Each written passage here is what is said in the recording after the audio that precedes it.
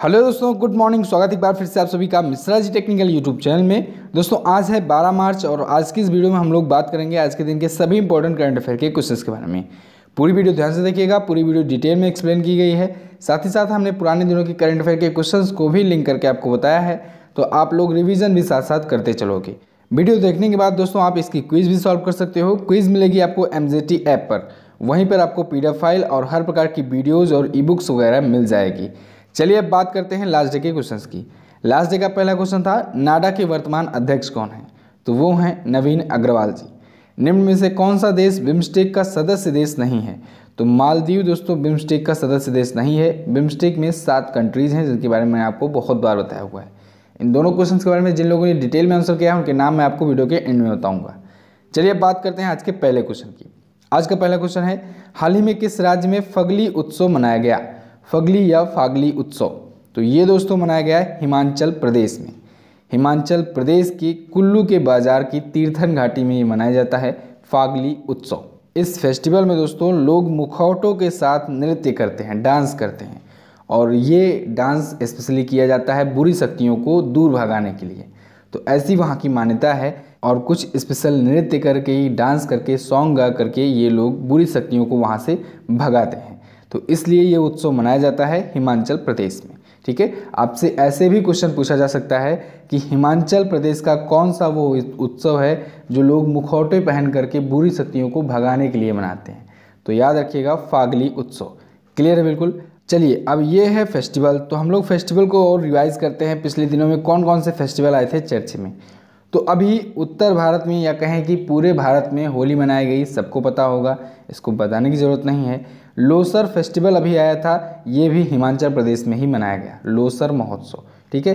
इसके साथ ही अभी कोच्चि में दोस्तों घोषणा हुई थी कि वैश्विक आयुर्वेद महोत्सव मनाया जाएगा, चौथा वैश्विक आयुर्वेद महोत्सव मनाया जाएगा, और मिजोरम में अभी चाप चार कूट महोत्सव बनाया गया, एक और महोत्सव अभी मध्य प्रदेश में मनाया गया था, नमस्ते ओरछा महोत्सव तो उसे भी याद रखिएगा। चलिए अब हिमाचल प्रदेश आया है तो हिमाचल प्रदेश भी देख लीजिए मैप में। ये रहा हिमाचल प्रदेश। शिमला है यहाँ की राजधानी। जयराम ठाकुर बीजेपी से यहाँ के हैं चीफ मिनिस्टर। गवर्नर है बंडारू दत्तात्रेय जी। शिकारी देवी अभ्यारण्य है हिमाचल प्रदेश में ही। हिमाचल प्रदेश मैप में देख लीजिए किससे किससे अपना बॉर्डर शेयर कर रहा है। तो हिमाचल प्रदेश दोस्तों लद्दाख से, जम्मू कश्मीर से, इसके साथ ही पंजाब से, हरियाणा से, उत्तराखंड से और उत्तर प्रदेश से अपना बॉर्डर शेयर करता है। क्लियर बिल्कुल? नेक्स्ट बात करते हैं। नेक्स्ट है हाल ही में किस राज्य सरकार ने स्वयं सहायता समूह के लिए मिशन शक्ति विभाग बनाया? मिशन शक्ति विभाग। तो ये बनाया है उड़ीसा और उड़ीसा ऐसा पहला राज्य हो गया है देश का जो स्वयं सहायता समूहों के लिए एक नया विभाग बनाया है। मिशन शक्ति विभाग। स्वयं सहायता समूहों के बारे में मैंने आपको कई बार बताया हुआ है। ये महिलाओं का एक ग्रुप होता है, जिसमें वो लोग आपस में ही एक एक स्वयं से सहायता के लिए फ़ंड इकट्ठा करती हैं और उनको सरकार के द्वारा भी फंड दी जाती है उनके प्रोग्रेस के लिए, उनके डेवलपमेंट के लिए। एक प्रकार की लोन देने वाली एक योजना टाइप की है, ठीक है? तो लेकिन ये सभी राज्यों में लगभग फैली हुई है, लेकिन उड़ीसा एक ऐसा राज्य बन गया है जो इसके लिए एक नया डिपार्टमेंट बनाया हुआ है, ठीक है? मिशन शक्ति के नाम से। तो उड़ीसा बन गया है ऐसा पहला राज्य, ओके? और उड़ीसा में एक और योजना चलती है ममता योजना। तो ममता योजना और ये मिशन शक्ति, ये दोनों मिला करके, दोनों संयुक्त रूप से उड़ीसा के सत्तर लाख से ज़्यादा महिलाओं को लाभ देंगे, ठीक है? ममता योजना और मिशन शक्ति योजना मिल करके। क्लियर है? तो अभी ये उड़ीसा की योजना है तो हम लोग उड़ीसा के बारे में जान लेते हैं। उड़ीसा देख लीजिए मैप में ये रहा उड़ीसा भुवनेश्वर यहाँ की है राजधानी। नवीन पटनायक जी, बीजू जनता दल पार्टी से यहाँ के चीफ मिनिस्टर हैं। पाँचवीं बार बने थे यहाँ के चीफ मिनिस्टर इस बार। गवर्नर हैं प्रोफेसर गणेशी लाल जी। नंदन कानन वन्यजीव अभ्यारण्य सिमलीपाल अभ्यारण्य और चंदका हाथी विहार। ये सभी है उड़ीसा में। उड़ीसा देख लीजिए और डिटेल में किससे किससे अपना बॉर्डर शेयर कर रहा है। तो उड़ीसा दोस्तों, वेस्ट बंगाल से, झारखंड से, छत्तीसगढ़ से, साथ ही साथ ये आंध्र प्रदेश से अपना बॉर्डर शेयर करता है। अच्छा उड़ीसा में ही इस बार पहला खेलो इंडिया यूनिवर्सिटी गेम्स भी आयोजित किया गया, जिसमें चंडीगढ़ की पंजाब यूनिवर्सिटी चैंपियन रही थी। इसे भी याद रखिएगा 2023 का हॉकी वर्ल्ड कप भी यहीं पर आयोजित होना है, भारत के उड़ीसा में। नेक्स्ट है देश भर में सौर छत संयंत्रों की स्थापना की लिस्ट में कौन सा राज्य शीर्ष पर है? तो देश भर में सौर छत संयंत्रों की, यानी कि रूफ टॉप प्लांट्स जो सोलर प्लांट्स होते हैं, उनकी स्थापना के लिस्ट में गुजरात है टॉप पर। ये पहले भी था, अभी भी ये बना है दोबारा रैंकिंग में। तो देश भर में सबसे ज़्यादा domestic roof top solar systems में गुजरात है सीट्स पर। गुजरात की अगर बात की जाए दोस्तों तो पचास हज़ार नौ सौ पंद्रह सोलर प्लांट्स हैं रूफ टॉप पर। यानी छत पर जो लगाए जाते हैं सोलर प्लांट सोलर सिस्टम्स उनकी बात की जा रही है। तो उसमें पचास हज़ार नौ सौ पंद्रह domestic roof top solar systems हैं गुजरात पर। ठीक है? सेकेंड पर महाराष्ट्र है। महाराष्ट्र में पाँच हज़ार पाँच सौ तेरह सोलर प्लांट्स हैं। पाँच हज़ार पाँच सौ तेरह। सोच लीजिए कितना ज़्यादा अंतर है। यानी टोटल अगर बात की जाए पूरा देश भर में seventy nine thousand nine fifty है टोटल देश भर में सोलर रूफटॉप प्लांट जिसमें चौंसठ परसेंट तो गुजरात में ही है। सेकेंड पर है महाराष्ट्र, जिसमें पाँच हज़ार पाँच सौ तेरह सोलर रूफटॉप प्लांट हैं। अभी हाल ही में एक सौर छत संयंत्रों की स्थापना की लिस्ट निकाली गई थी, जिसमें 2 मार्च 2020 तक का ये डाटा दिया गया है। क्लियर है बिल्कुल? तो गुजरात है शीर्ष पर। गुजरात के ही दोस्तों, अभी अहमदाबाद में मोटेरा स्टेडियम का उद्घाटन हुआ था। मोटेरा स्टेडियम दुनिया का सबसे बड़ा क्रिकेट स्टेडियम है और यहीं पर नमस्ते ट्रंप का भी आयोजन किया गया था, जब राष्ट्रपति डोनाल्ड ट्रंप आए थे भारत में, ठीक है? 24 और 25 फरवरी को, उसे भी याद रखिएगा। अब बात करते हैं गुजरात की। गुजरात देख लीजिए मैप में। गांधीनगर यहाँ की राजधानी विजय रूपाणी बीजेपी से हैं चीफ मिनिस्टर, गवर्नर हैं आचार्य देवव्रत जी। गिर नेशनल पार्क और नल सरोवर पक्षी अभ्यारण्य है गुजरात में ही। आज मेरी आवाज़ थोड़ा बैठी हुई है दोस्तों, इस वजह से वॉइस में थोड़ा प्रॉब्लम आ रही है। गुजरात देख लीजिए मैप में किससे किससे अपना बॉर्डर शेयर कर रहा है। तो दोस्तों, महाराष्ट्र से ये एक मई 1960 को अलग ही हुआ था तो ये महाराष्ट्र से अपना बॉर्डर शेयर करेगा। साथ ही साथ ये राजस्थान से और मध्य प्रदेश से अपना बॉर्डर शेयर करता है। अच्छा गुजरात से मैंने एक पॉइंट आपको और बताया था कि भारत की सबसे लंबी तटीय सीमा वाला राज्य है गुजरात, ठीक है? ये सबसे लंबा कोस्टल बॉर्डर अपना बनाता है। नेक्स्ट बात करते हैं। नेक्स्ट है BBC Indian sports women of the year 2019 का अवार्ड किसे दिया गया? तो ये अवार्ड दिया गया पीवी सिंधु को। पीवी सिंधु इंडियन सटलर हैं बैडमिंटन की ये प्लेयर हैं और इन्हें दिया गया BBC Indian sports women of the year 2019 का अवार्ड यानी 2019 के लिए अवार्ड अभी हाल ही में नई दिल्ली में बीबीसी पुरस्कार समारोह का एक आयोजन किया गया था तो उसी में पीवी सिंधु को ये अवार्ड दिया गया BBC Indian sports women of the year 2019 का. एक अवार्ड और दिया गया पीटी ऊषा को. पीटी ऊषा को दिया गया लाइफ टाइम अचीवमेंट का अवार्ड तो उसे भी याद रखिएगा पीटी ऊषा ठीक है? ये रेसर थी स्प्रिंटर थी. पीवी सिंधु आई हैं तो इनके बारे में हम लोग जानते हैं। पीवी सिंधु के बारे में मैंने आपको एक स्पेशल वीडियो दी हुई थी, उसमें मैंने पीवी सिंधु के लाइफ के पूरे अचीवमेंट को बताया हुआ था। अगर आपने वो वीडियो नहीं देखी है तो एप्लीकेशन पर जाकर के पी सिंधु लिखिएगा, आपको वो वीडियो मिल जाएगी। एम ऐप पर ऊपर सर्च का ऑप्शन लगा हुआ है, वहाँ पर जाकर पीवी सिंधु लिख दीजिएगा, वो वीडियो आपको मिल जाएगी डिटेल में आपको नॉलेज मिल जाएगी। पीवी सिंधु के बारे में हम लोग कुछ इंपॉर्टेंट पॉइंट को कवर कर लेते हैं इस वीडियो में भी। पीवी सिंधु हैदराबाद की हैं। इनका पूरा नाम पुरसेला वेंकटा सिंधु है। पीवी सिंधु, दोस्तों, ये ओलंपिक में जीती थी सिल्वर मेडल, रियो ओलंपिक में। ये याद रखिएगा, बहुत ही इंपॉर्टेंट है, ठीक है? सेकेंड इनका सबसे बड़ा अचीवमेंट रहा वर्ल्ड चैंपियनशिप में गोल्ड मेडल का आना।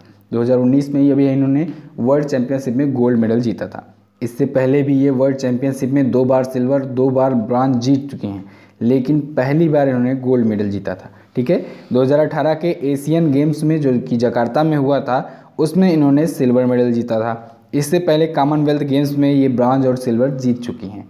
नेक्स्ट बात करते हैं। नेक्स्ट है इंडियन कोस्ट गार्ड्स की पहली महिला डीआईजी कौन बनी?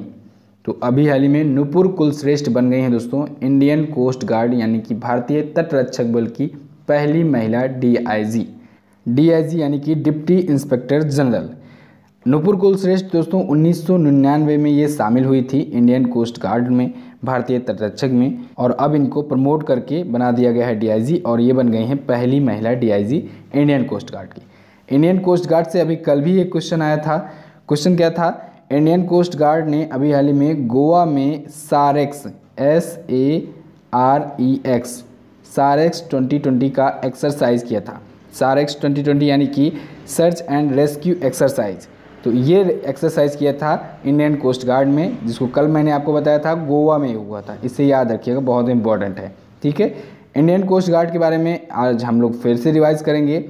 इंडियन कोस्ट गार्ड की स्थापना दोस्तों हुई थी 1978 में 1978 में।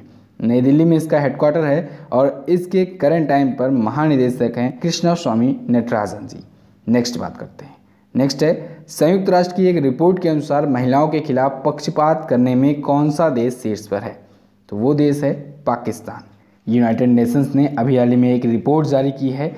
इस रिपोर्ट का नाम है gender social norms index report.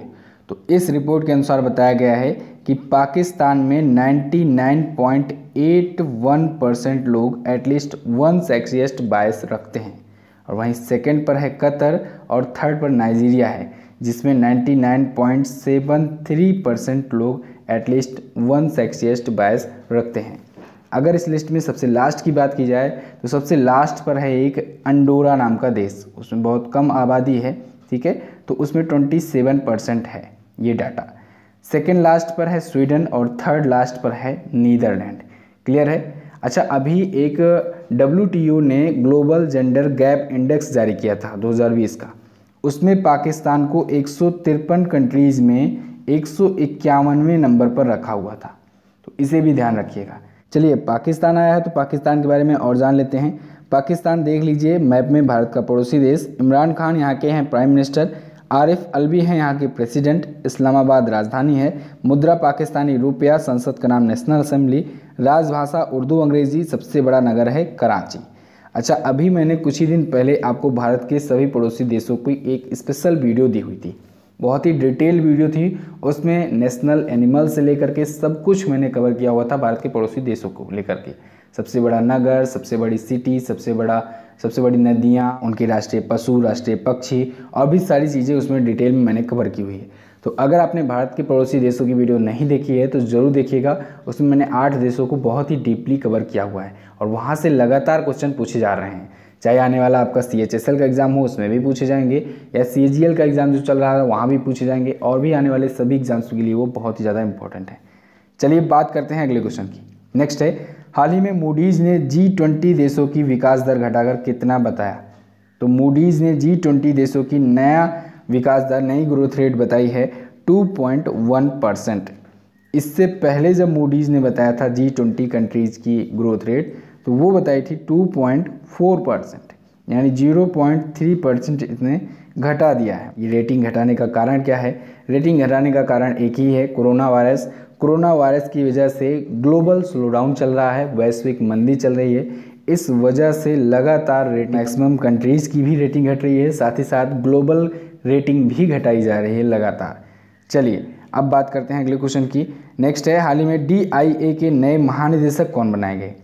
D I यानी कि डिफेंस इंटेलिजेंस एजेंसी तो इसके नए डायरेक्टर जनरल बनाए गए हैं लेफ्टिनेंट जनरल के जे एस ढिल्लन कौन? लेफ्टिनेंट जनरल के जे एस ढिल्लन ये ए के नए महानिदेशक बनाए गए हैं। साथ ही साथ दोस्तों, इनको deputy chief of integrated staff भी बनाया गया है। क्या बनाया गया? Deputy chief of integrated staff intelligence विभाग का। क्लियर है? जो कि चीफ ऑफ़ डिफेंस स्टाफ के अंडर में काम करता है। इसे भी ध्यान रखिएगा। चीफ ऑफ़ डिफेंस स्टाफ के बारे में आप लोग जानते ही होंगे। ठीक है? बिपिन रावत इसके पहले अध्यक्ष बने थे। पहले भारत के चीफ ऑफ़ डिफेंस स्टाफ बने। तो उसी के अंडर में काम करता है deputy chief of integrated staff, जो कि नियुक्त किए गए हैं लेफ्टिनेंट जनरल के जे एस ढिल्लन। और इन्हीं को बनाया गया डी आई ए का नया महानिदेशक, यानी कि डिफेंस इंटेलिजेंस एजेंसी भी। तो दोनों याद रखिएगा। लेफ्टिनेंट जनरल के जी एस ढिल्लन। नेक्स्ट बात करते हैं। नेक्स्ट है, हाल ही में किसने महिला दिवस पर the twelve commandants of being a woman नामक पुस्तक लॉन्च करने की घोषणा की? तो दोस्तों, ताहिरा कश्यप ने घोषणा की है कि the twelve commandant of being a woman नामक बुक ये लॉन्च करेंगी। कब लॉन्च करेंगी? ये लॉन्च करने की घोषणा की है कि 2020 के ये अंत तक ये लॉन्च करेंगी। इस साल के अंत तक ये बुक लॉन्च करेंगी। इन्होंने ये घोषणा की है इंटरनेशनल वीमेंस डे के अवसर पर। तो आई होप ये वीमेंस के एम्पावरमेंट पर बेस्ड एक बुक होगी, ठीक है? तो इंटरनेशनल वीमेंस डे यानी 8 मार्च को इन्होंने इसका अनाउंसमेंट किया। ताहिरा कश्यप हैं कौन? ताहिरा कश्यप दोस्तों एक्टर आयुष्मान खुराना की वाइफ हैं। एक राइटर भी हैं और फ़िल्म प्रोड्यूसर भी हैं।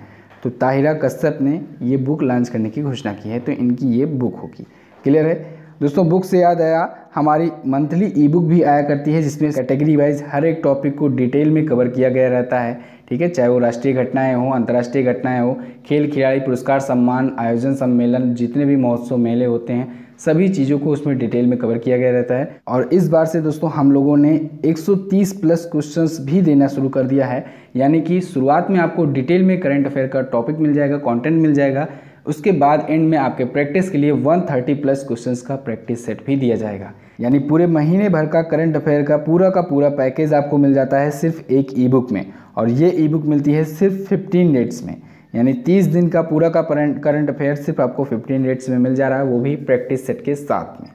तो ई बुक का लिंक डिस्क्रिप्शन में दिया गया है, या फिर आप हमारे एप्लीकेशन से जाकर परचेज कर सकते हैं। चलिए बात करते हैं अगले क्वेश्चन की। नेक्स्ट है, हाल ही में कहाँ पर जलियांवाला बाग पर एक प्रदर्शनी आयोजित की गई? तो दोस्तों, नई दिल्ली में जलियांवाला बाग पर एक प्रदर्शनी का आयोजन किया गया। इसका उद्घाटन किया जा रहा है दोस्तों, राष्ट्रीय अभिलेखागार के 130वें स्थापना दिवस पर। किसके? राष्ट्रीय अभिलेखागार के 130वें स्थापना दिवस के अवसर पर इसका उद्घाटन किया जा रहा है। इसका उद्घाटन किया है भारतीय संस्कृति मंत्री प्रहलाद सिंह पटेल जी ने। ठीक है? जलियांवाला बाग पर इसमें प्रदर्शनी की जाएगी, प्रदर्शनी दिखाई जाएगी। जलियांवाला बाग हत्याकांड के बारे में आपको बता दें कि 13 अप्रैल 1919 को जलियांवाला बाग हत्याकांड हुआ था, काफ़ी फ़ेमस हत्याकांड था। इसमें अंग्रेज़ों ने बड़ी मात्रा में भारतीयों पर गोली चलाई थी और हज़ारों की संख्या में भारतीय मारे गए थे। अमृतसर में ये घटना हुई थी 13 अप्रैल 1919 को। डेट याद रखिएगा इम्पोर्टेंट है। तो बस दोस्तों, फ़िलहाल आज के दिन के करंट अफेयर के क्वेश्चन से बस इतना ही। आई होप आपको वीडियो पसंद आई होगी। वीडियो अगर पसंद आई है तो वीडियो को लाइक कीजिएगा। अपने दोस्तों के साथ इसे शेयर ज़रूर कर दीजिएगा। आप लोग अगर वीडियो शेयर करते हो तो हमारा भी मोटिवेशन बना रहता है। अब आप लोग होली मना लिए हो तो जल्दी से आ जाओ और बैकअप कर दो, फिर से स्टार्ट कर दो अपनी स्टडी को कंटिन्यू करो और तेज़ी से साथ इस बार और दोगुनी स्पीड से और दोगुनी एनर्जी के साथ शुरुआत करो, जिससे आपका प्रिपरेशन और तेज़ी से बढ़े आगे। घर जाने पर दोस्तों एक रिफ्रेशमेंट आता है तो महीने दो महीने में एक बार घर ज़रूर जाया करो और लेकिन आने के बाद दोगुनी रफ्तार से शुरुआत किया करो। चलिए बात करते हैं क्वेश्चन ऑफ़ द डे की। आज आपके लिए पहला क्वेश्चन है QS world universities ranking by subjects 2020 में सीट्स पर कौन सी यूनिवर्सिटी रही? अगला है टाइम्स ऑफ़ इंडिया ने क्रिकेटर ऑफ़ द ईयर का अवार्ड किसे दिया? दोनों क्वेश्चन इंपॉर्टेंट है, दोनों के बारे में डिटेल में लिखिएगा। बात करते हैं उन लोगों के नाम की, जो लोग कल की वीडियो में जो क्वेश्चन पूछे गए थे, उसके उन्होंने डिटेल में आंसर किए थे। उनके नाम हैं, अंजलि गुप्ता, राकेश ढाका, चरण सिंह, सुरभि गुप्ता, जय चौधरी, नरेंद्र मीना दीपिका, सौरभ कुमार, हर्ष सोनी, अरविंद यादव, संगीता रावत, मिथुन कुमार, संदीप कुमार मधु, स्मिता, ज्योति, पचौरी, अवंतिका सिंह। इतने लोगों ने डिटेल में आंसर किया है, आप लोग भी डिटेल में आंसर किया करो। मिलते हैं दोस्तों नेक्स्ट वीडियो में, तब तक के लिए नमस्कार, जय हिंद, वंदे मातरम।